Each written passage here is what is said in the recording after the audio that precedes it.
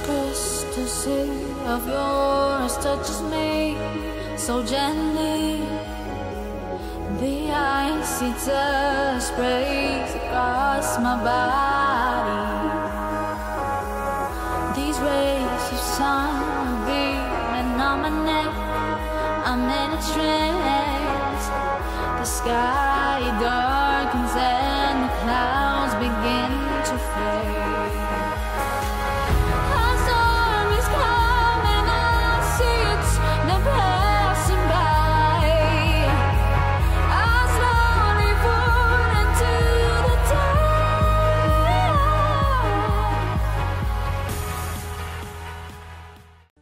Hello Virgo, this is Inspire 2016 with your weekly tarot reading for the week commencing the 13th of February until the 19th of February 2017.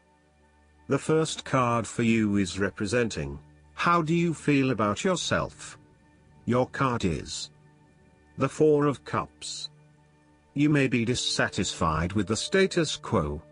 You may be feeling disengaged, apathetic, or unmotivated. Life has become stale or flat and there is little that excites you anymore. To overcome this, the Four of Cups suggests a need to re-evaluate your situation and to look deep within your own psyche to find understanding and meaning.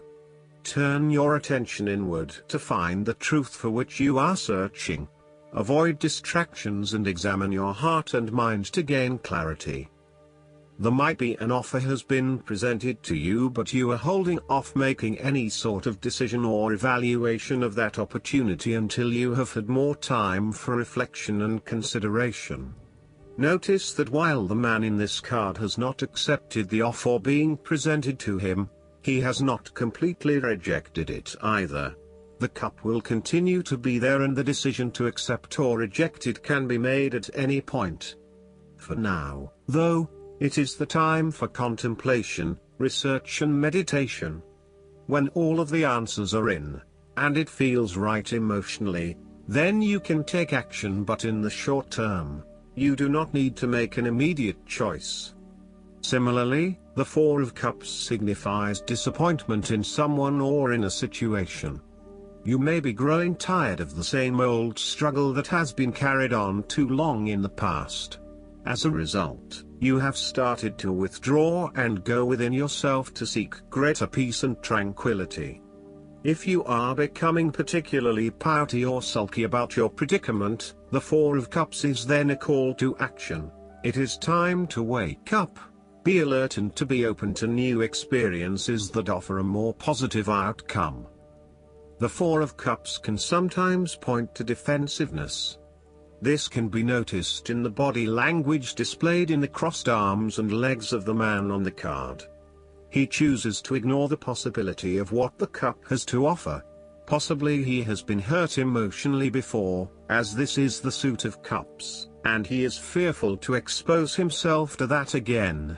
Hence he is closing himself off to this opportunity. Consider what opportunities you are ignoring or declining, and ask yourself whether this is because you truly believe you would not benefit from it, or whether this is because you are fearful of what may follow. Be mindful of any defensiveness in your responses and reactions. The second card for you is representing, what do you want most right now? Your card is the Seven of Swords. What do you want most right now is doing something in secret. Hoping that you are safe and undiscovered, something goes awry and your secret is revealed to your embarrassment.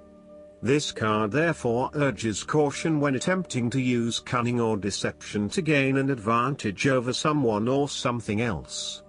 There is no question that there are times in life when it is necessary to act shrewdly or do something in secret. Perhaps you had to think on your feet and act in a way that was not exactly all above board. Perhaps you had to go behind other people's backs in order to manifest your desires. Perhaps you felt like you needed to cheat or take the easy way out. If acting shrewdly is something you must do, it is essential that you do this with a clear conscience and you are fully aware of the potential consequences of your actions. Taking the easy path is not always the best path, and sometimes you just have to exert a decent amount of effort to achieve what you want. You may be tempted to sneak away from a particular situation that is not working for you anymore, rather than dealing with it head on. As you do not feel ready to deal with the issues, you are aiming for a solution where you can just escape and not have to worry about it all. Are you trying to run away from commitment, responsibility, hard work or love? You may be procrastinating, letting problems slip and become worse because you do not want to deal with them. Sometimes you just have to face what has to be faced. So, the question is, is this realistic? Will this escape really accomplish what you want to and need to accomplish? Will it address the fundamental issues at hand here? The likely answer is no, and it may simply be an easy way out for now.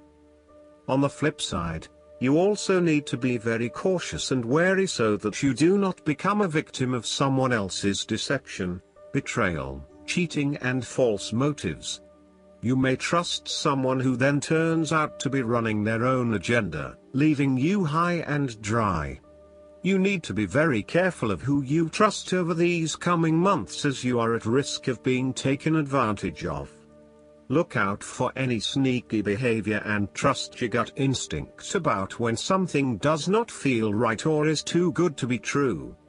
Sometimes, the Seven of Swords indicates a desire to go it alone. You want to discover, investigate and solve every problem using only your own wits and resources. You may believe that you have a better chance at success if you act on your own accord, ignoring the advice or inputs of others. This approach is useful when you need to bypass an ineffectual group or assert your independence but it can also have its limitations. You may end up feeling isolated and excluded, missing that great feeling of collaboration and synergy gained when you work with others. If you feel inclined to act alone, be sure this isolation will really work for you. The third card for you is representing your fears. Your card is the Nine of Swords. You are afraid and worrying excessively about a situation. You are literally being kept up at night because you are so anxious about a particular issue. It is possible you are working yourself up unnecessarily and, if you were to look at the situation more objectively, you may come to realize that it is not as bad as you are making it out to be. In fact, all that worry and despair is what is making it worse, so rather than fretting about it, do something to change it. Although most people experience fear, frustration and uncertainty at some point in their lives, you should not allow those negative emotions to immobilize you or keep you from pursuing your goals with enthusiasm and hope. Expect at least some level of uncertainty in the future, and draw upon your inner strength to remain as flexible and adaptable to that uncertainty as possible.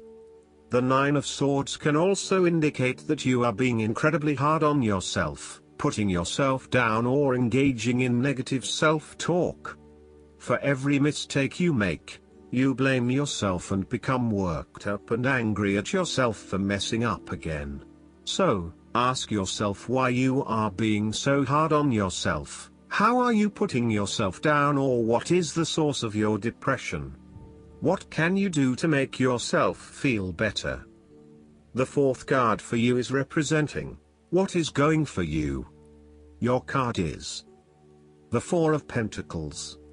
You are very conservative about money and are not inclined to gamble in financial matters. You were very protective of what you have accumulated over time, and slowly and steadily you increased your net worth through saving money and safe investments. You were self-sufficient both financially and emotionally, as you often equate money with emotional security. This card also indicates possessiveness, greed and an overly cautious approach to life. You may be afraid to take risks, both financially and emotionally for fear of losing everything that you have attained so far. As a result, you may be vaguely unhappy and unfulfilled. deep down you are starting to realize that you have sold out for a conservative and overly safe approach to life. Thus, the Four of Pentacles indicates one of the dangers of prosperity, the temptation to value money far above its real worth.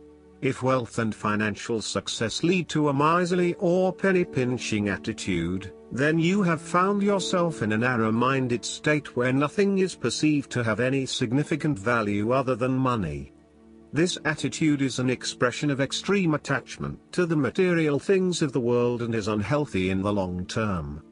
Sometimes, the Four of Pentacles can indicate an inflexible attitude that is resistant to change. You have already established a way of living that now works for you, so why change? Change appears to be a threat to your certainty, safety and security, and may place you at risk of losing all that is important to you. Any suggestion of doing things differently is therefore going to be met with resistance for fear of how it will impact your personal sense of security.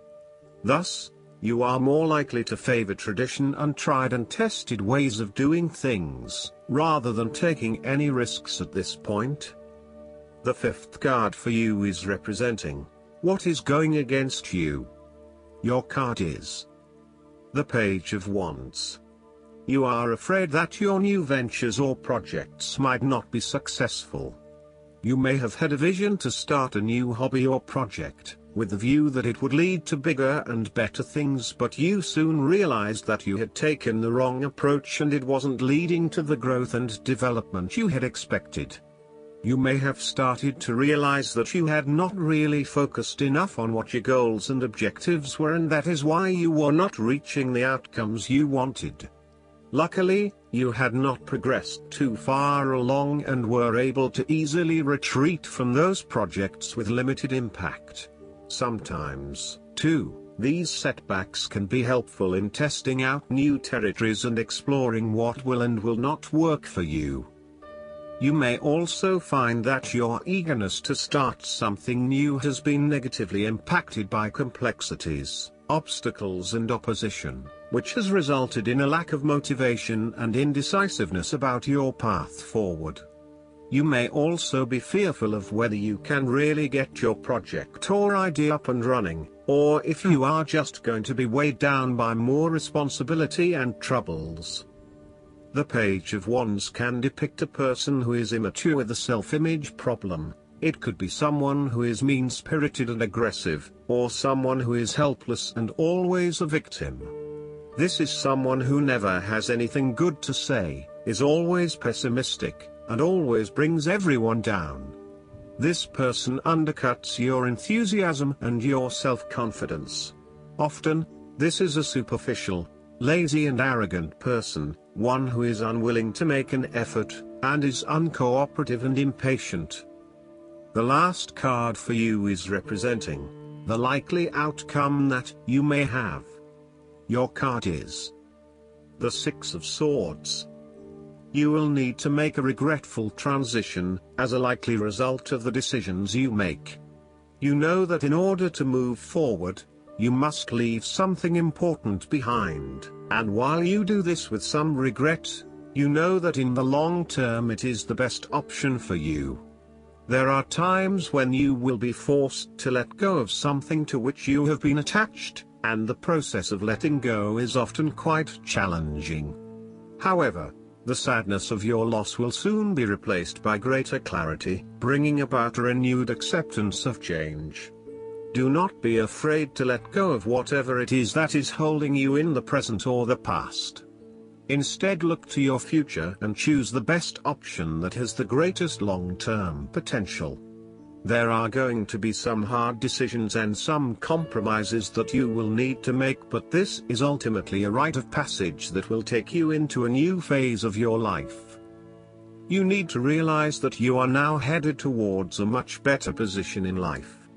You have endured, or are currently enduring, a difficult life transition but as a result, you will be more able to deal with what may come.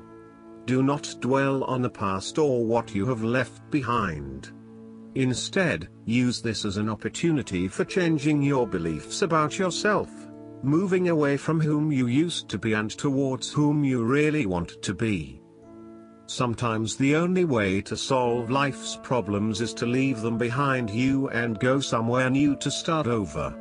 While it may feel as though you are giving up or being a coward, escape is often the only approach left when all others have failed.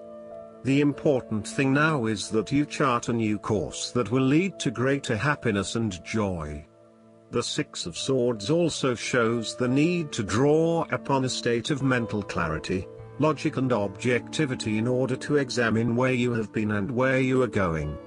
This mental clarity will also serve to smooth the way ahead, and make the passage from negative to positive as peaceful as possible. You can use your intuition to guide you through easy situations and call upon your impartial and analytical nature when it is needed for a more complex decision. More literally, the Six of Swords can indicate a trip across water. There may be some sadness in terms of who you will need to leave behind you but you know that this trip will do you a world of good. An example might be someone who is about to travel on their own, leaving behind a partner who they will sorely miss. You may also be required to make a longer term move from one location to another, where you will leave behind friends and family in order to explore or experience a new territory.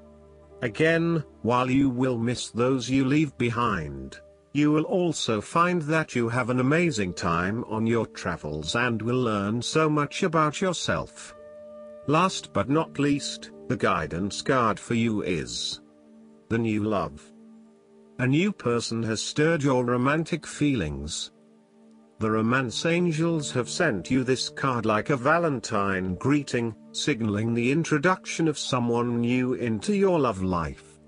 Perhaps you've recently met this person and your interest was piqued. This card validates that your connection was mutual and real. It is safe for you to explore it, and the romance angels will guide your actions accordingly. Of course, if you are already in a committed relationship, you'll want to consult your angels and perhaps a counselor or other trusted person to get insight into your feelings. While running into the arms of a suitor may sound passionate, the reality of guilt over the affair will soon weigh heavily upon you. It's better to confront the issues within your present relationship that left your emotional doors open for someone else. This card can also mean that you'll soon meet a new person. In these cases, the romance angels are asking you to keep the faith that love is in your cards. You deserve love, and you're lovable. The angels guide you to be aware, as you never know when your partner will arrive. I hope that you enjoy everything and if you like the reading just please click subscribe and you will get uh, instant notifications every time we publish a new video right to your uh, YouTube. Thanks.